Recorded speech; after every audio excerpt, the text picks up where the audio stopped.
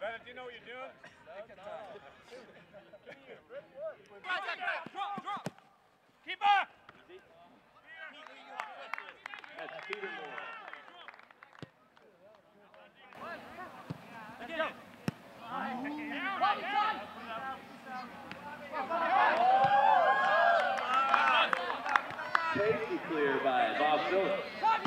Really is neat to see uh, all the skill that these guys have today compared to what we had back in uh, in the '60s.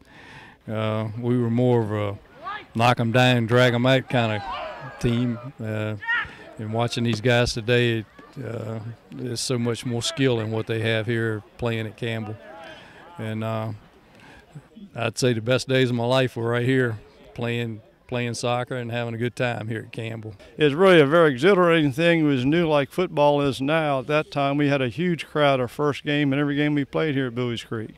winning back-to-back Big South championships and just getting the foundation, it was just amazing. So it was, um, you know, it was a real treat, and you know, we had some great kids, um, not only on the field but off the field. But you know, it's great to see, uh, you know, that legacy being continued. You know.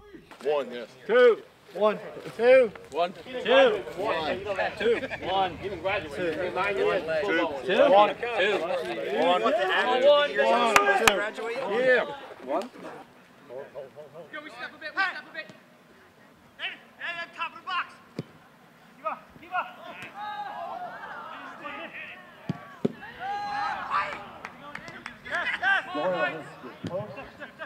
Steve Payne cleared away by Chris Lamb.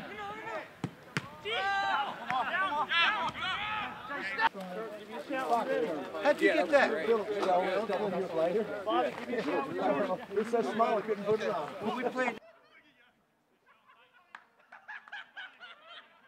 Keep going.